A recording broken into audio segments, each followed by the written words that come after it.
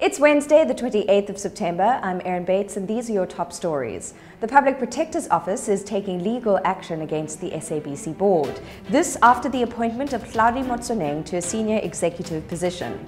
Yesterday, during a press conference, Thuli Madonsela said her office will probe the process of appointing him. Motsoeneng and senior SABC executives also held a press conference of their own. They declined to give details of Motsoeneng's bonus, but he now holds the position of Group Executive of Corporate Affairs. South Africa's largest mobile network has refuted allegations that it illegally repatriated 187 million rand out of Nigeria.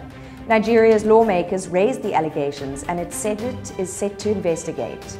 Politician Dino Melaye has accused MTN of repatriating the funds over a decade from 2006 and with the help of four banks. MTN Nigeria CEO Ferdi Moolman said this morning the allegations made against MTN are completely unfounded and without merit.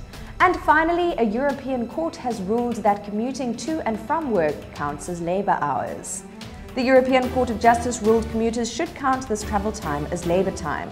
It applies especially to workers who must travel to various locations for their jobs. Sadly for us, however, here in South Africa, it doesn't apply. More on this in news as it happens at news24.com.